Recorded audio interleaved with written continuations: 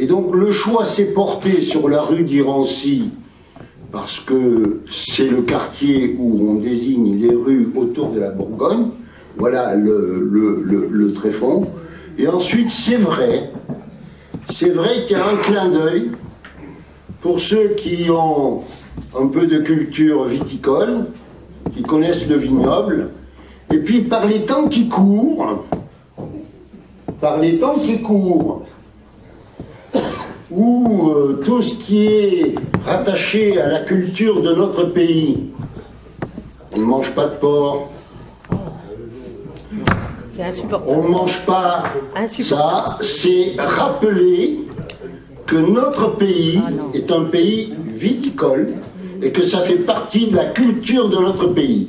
Et si des habitants des Ulysses apprennent ce qu'est l'Irancy à travers cette nomination de rue, personnellement, je m'en réjouis. Merci, tout ça pour 100 mètres.